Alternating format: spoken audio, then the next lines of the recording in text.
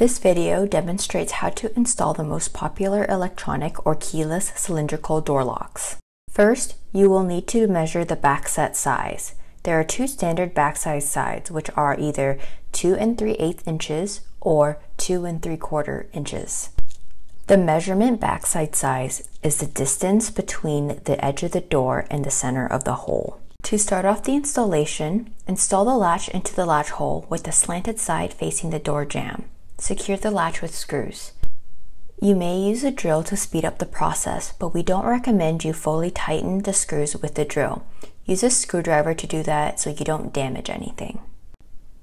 You may use the original strike plate if this is a replacement type of installation. If needed, you may also install a new strike plate by removing the old one and replacing it with the new one. Next, insert the outdoor unit. Some keyless door locks may have a gasket or a plate for the door units. If your unit has one, put the gasket or the plate on first, making sure any connective wires are in their proper positions. When you insert the outdoor unit, align the mechanism with the latch. You may need to slightly wiggle the unit in, but do not force it in.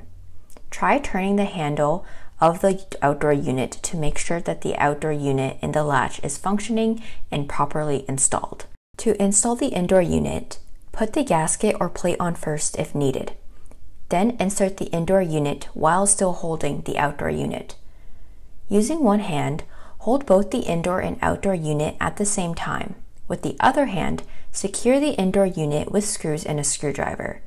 Slightly tighten one screw at a time. For the first one, you will need to make sure that you're aligning the indoor and outdoor unit perfectly in order to screw the screw in. Start off slow using a screwdriver, and when you feel that it is aligned, continue to tighten the screw and do the same with the second screw. Many locks, such as this lock, will have a third screw for extra securement. This lock has a screw at the top.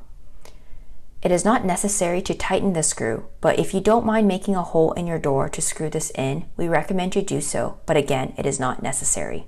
The lock is installed. Test the lock before fully closing the door so you avoid locking yourself out and to ensure it works properly. If this video has helped you in any way, please thumbs up this video and consider subscribing to the channel. Leave a comment with any questions or suggestions for the next video. Thank you for watching.